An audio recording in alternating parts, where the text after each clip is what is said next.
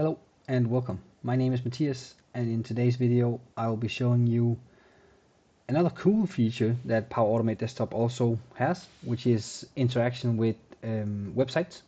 So in today's video I will show you how to use a website like TradingView to get stock information on the top gainers in the Americas, um, extract this table of information and save it into an Excel file. Pretty awesome stuff um, and a lot of cool tricks um, on the way. I've built the flow just so you can see it uh, before we start diving into it. So let's just run it here so you can see what what's going to happen. And then after the demonstration, we will start from the beginning and build it together.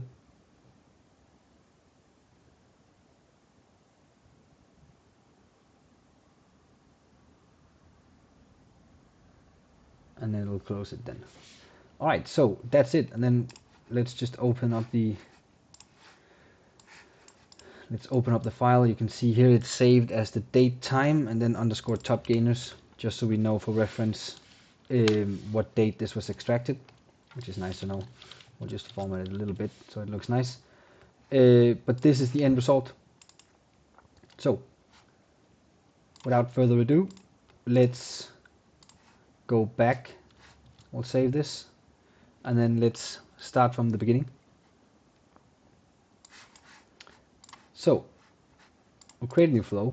Let's call it trading view because this is the obviously I'm not affiliated with it but this is um, one of the research uh, websites that I'm using sometimes to do um, stock analysis and stuff. So let's just take an offset in that because that's an that's a, a website that I know um, before we start diving too much into anything, let's just open up Paint, as I normally do, and let's write down in steps brief what it is that we want to do.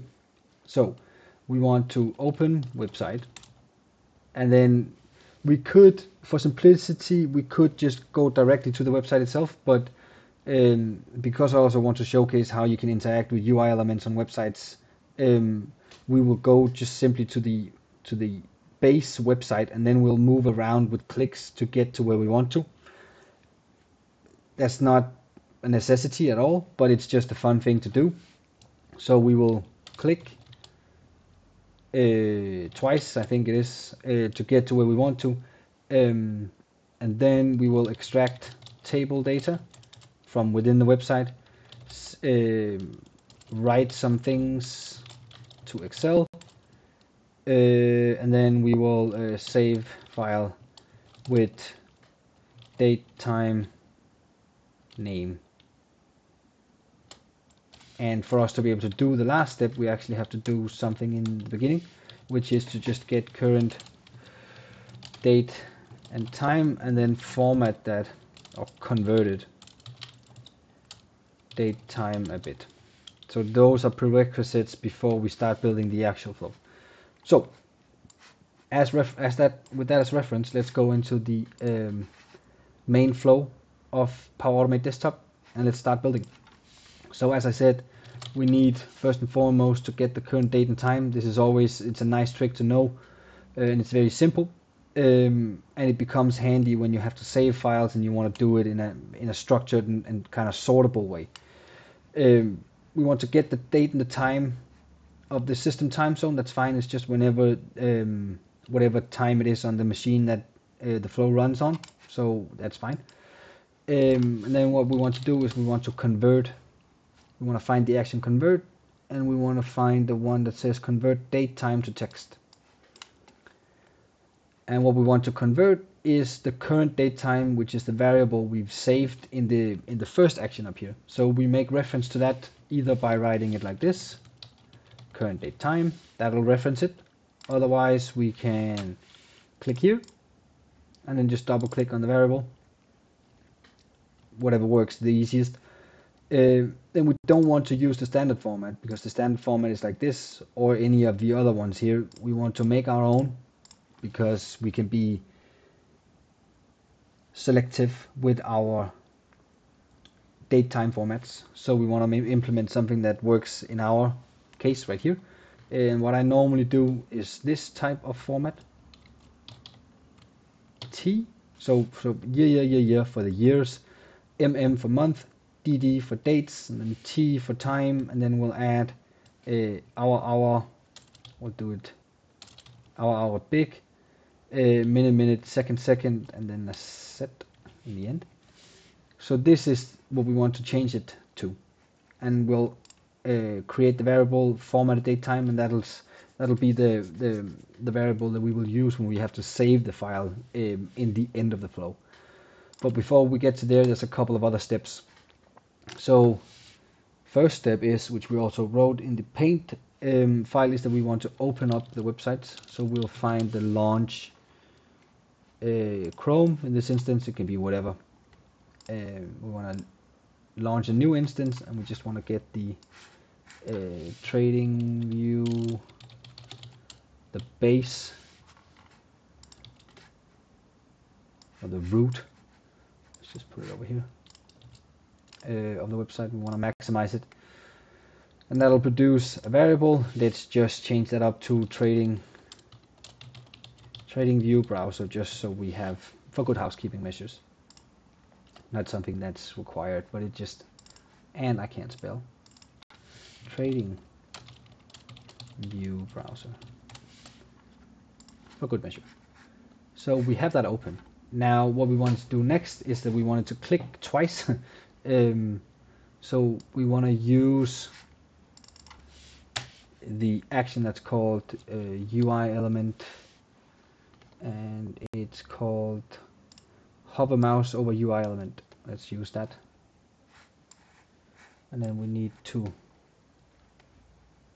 And we do that instead of because we don't actually have to click here. We just have to find this find here and then we have to click on this but we don't have to click on any of these for it to pop up. So that's why we're just um, we're hovering over it. So we need to add the UI element that we have to hover over, and we do that by clicking Add UI element, and then we'll drag this into the page, and we'll find the markets. Let's just get it adjusted here, and then we'll control click.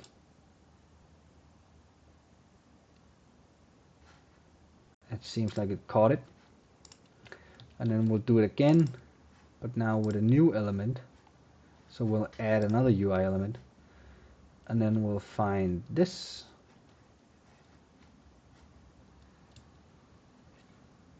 control click it can be a little bit slow but that's fine a lot to process we'll save that and now we don't want to hover anymore we want to click the link on a web page. So click click anything on a web page. So we have to specify what. Uh, and we, for us to do that, we need to add another UI element because we don't have this yet. So we'll go back here, hover, hover, and then top gainers. This is the one that we want to click. So we'll click Control and click it. So it captures it, and the click type that we want to send is just a left click. That should do the trick. So we'll save that. Now, good process is to just save it and then we'll just run it to make sure that we're all on the same page.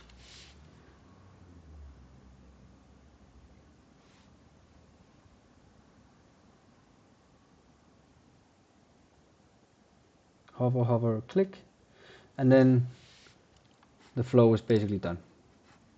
Uh, and that's fine. Let's close the other one we have here and only have a look at this. So now we're in on the page. We could have gone to just simply this website instead of having to click click click but it's just a bit of fun. Um, and what we now want to extract is this table. So and it's very nicely formatted as you can see uh, so it shouldn't cause us a lot of problems. There's a little bit of extra there's some analyst ratings out here which we also want to get. Uh, and we should be able to get all of it by simply using uh, the action called extract data. No it has to be the web data extraction. So extract data from web page not from window. Uh, and it has to be this instance. And what we have to do now is that we have to open up this this is a bit of an annoying thing or it can be at least um, because when you have the action implemented into your flow, before you click save, if we go back and we say, yeah, that looks fine, and then we save it, we get an error message because we haven't specified what to extract yet. But there's no obvious reason or obvious um, interaction for us needed to specify where that happens. Um, but we do that by simply bringing it to the front of the screen, the website or the stuff that we want to extract, and then this pops up by itself. So we have to bring it to the forefront here.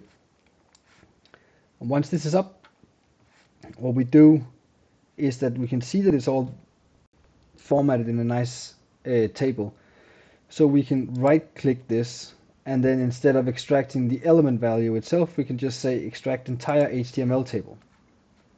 And then this is what's then shown up in our um, extraction preview. It looks a little bit odd because the columns are very, very uh, narrow, but this should be fine. So we can click finish and then we can say synopsis, we can see here that it says synopsis of data to be extracted, extract HTML table records in the form of a 12 column table. And that sounds about right. So we click save. Um, variable name is fine, we don't have to change it. Um, and then for good measure, we want to close the web browser now so we don't have it open. And if we run it multiple times, uh, we remember that we keep closing it. So what we want to do from here is we actually just, and I just saw that, uh, we want to make sure that we don't store the data in a variable but in an Excel spreadsheet. That is very, very important. Uh, and it just took me uh, 10 minutes to troubleshoot this. Um, but we want to extract the data and then we want to save it in Excel, Excel sheet. Um, and now we can then use the functionality to insert row to Excel worksheet. Um, and we want to reference the Excel instance that we just created up here and we want to use the first row in the sheet to start putting in all the data that we've extracted. So good housekeeping, let's just save the flow and let's run it to see where we are. If we still agree with all the steps being taken. finds the elements, clicks, that's good. And now it extracted the whole uh, HTML table and it stored it into uh, an Excel sheet. Now we haven't specified that it needs to do anything else, add any header, headers or save the Excel file. So now it's just an, an, an open normal book. So that's, but that's good. Um, from here, we will do a couple of more steps before we close off this um, before we close off this uh, video. So what we'll do is that we'll want to write a couple of things into the Excel word, uh, worksheet. So we'll find the write to Excel worksheet, and then we want to we still reference to the same uh, worksheet. That's fine. And then what we want to do is we want to, if we go back into the trading view website, we're missing we're missing the headers as you saw in the Excel file, which is a bit problematic. So what we want to do is that we want to add these different headers to the output file. Um, so even though this actually says simple, this is the simple and we're getting this, so we'll just call this the name on column 1, row 1 on specified cell. So if we do that now,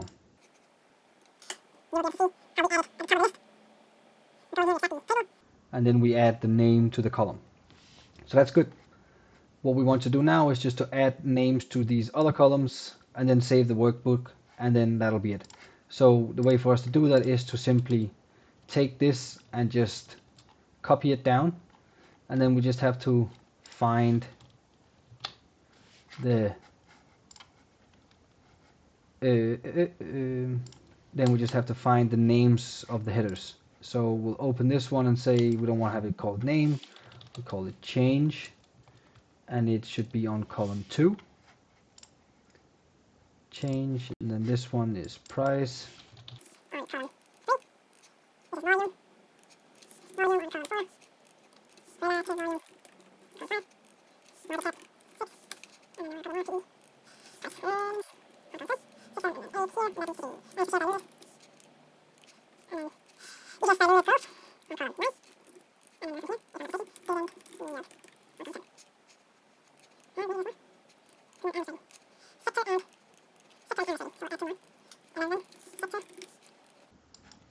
Analyst rating on 12 so now we should be good to go. The only thing that we're missing is to close the excel file.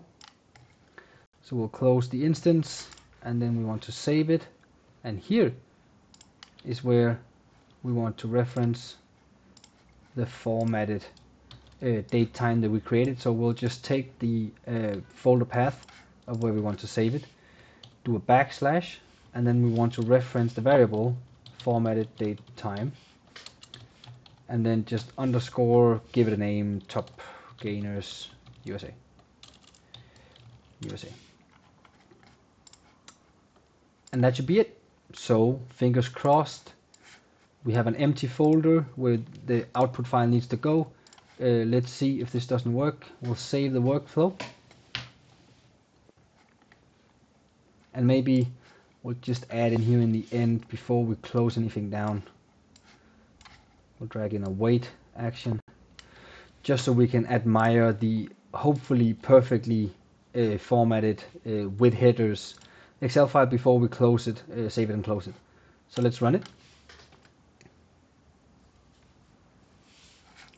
And I'm just tracking it over, it's on the other screen. For you to be able to see, we should go into markets, stocks, top gainers, extract the table and close down the web browser, add all the headers, and now we're waiting for five seconds. When it looks good, close it, flow done. That was it. Hopefully this was of some value to you. Um, let me know if you have any questions or comments. Um, Otherwise, I will see you in the next one. Thank you. Oh, and I just realized that I forgot. There's no camera on now, but that's fine. I just forgot to show you uh, the file itself. And as you saw just before, it looks like this. Uh, nicely, nicely formatted. Uh, and you can see that it's saved as the date time also, so that's really nice. This also allows us, if we want to cascade this up into Power Automate Cloud and trigger this on a scheduled basis. So let's say we do it every day or every week or every month, then this allows us to find um, the most recent uh, file in an easy manner. Just want to add that. Thanks.